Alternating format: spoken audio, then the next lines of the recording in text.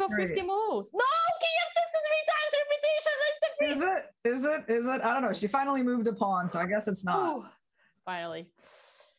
Ah, by the way, Oh, there by was the way, E5 there was- was a mate. Did you see that? I, E5 see- I saw that. I just wanted Yeah. to say it. Yeah. Oh. Harika is. E5. you know, she's doing well Oh, oh, to oh, oh, H- actually go up H4, on the H4 clock. H4 Oh wow, we're gonna see that. Wow.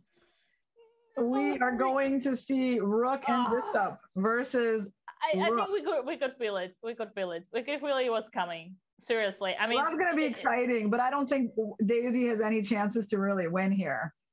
Yeah, no, no, no. I don't even mean, think it's that easy to win this pawn, to be honest. Yeah. And she has low low time, and I mean Harika has played this masterfully. Um, Wow. You know, she has more time than when we started playing this end game. So think about that. She's kept her time stable. She's run down Cori by about 10 seconds. Niranjan bhai, subscribe, okay?